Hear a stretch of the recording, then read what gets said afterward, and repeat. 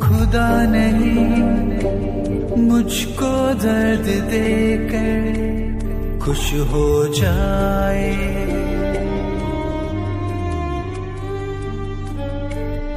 तू वो पिता नहीं, मुझको आँसू देकर चैन से सो जाए।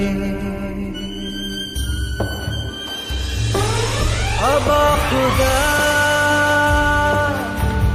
है मेरा अब पिता